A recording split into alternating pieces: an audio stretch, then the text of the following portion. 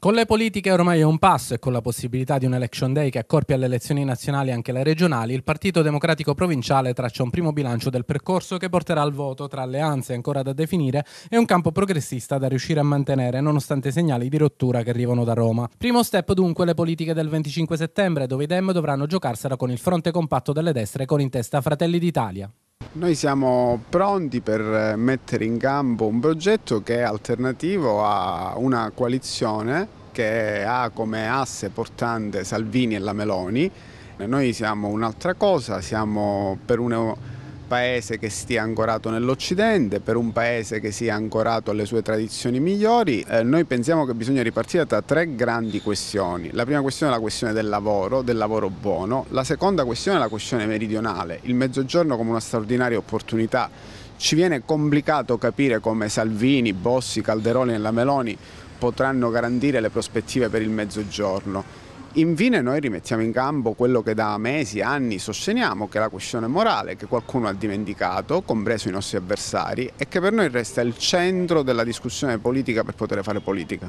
Per i tema al momento per le politiche si va verso il fronte allargato al centro, lasciando fuori i 5 Stelle. A livello nazionale chi ha fatto, eh, diciamo, è responsabile della caduta del governo Draghi oggi non può stare dalla nostra parte. Questa è la scelta nazionale che condividiamo perché di fatto si è stato un assist agli amici di Orban, di Putin, eh, alla Meloni, a Salvini e a Bossi.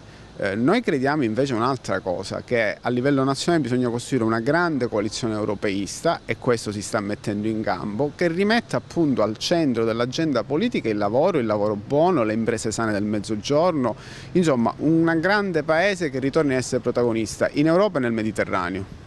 Equilibri che qui in Sicilia però potrebbero modificarsi qualora Musumeci decidesse di dimettersi portando la Sicilia verso l'election day. Andare a votare con 20 giorni di differenza sarebbe un disastro perché significherebbe chiedere ai siciliani di votare due volte e non cosa secondaria, voglio ricordare che questo avrebbe un aggravio eh, diciamo finanziario di circa 20 milioni di euro, quindi Musumeci la nostra è una posizione abbastanza netta, si dimette e permette ai siciliani di poter votare per le politiche e per le regionali senza senza fare calcoli. Il campo progressista reggerà mi sembra evidente perché oggi tra l'altro c'è anche una dichiarazione di un autorevole esponente del Movimento 5 Stelle che dice che quelle primarie hanno un senso. Io credo che ho differenziato e dobbiamo differenziare la Sicilia dal Paese.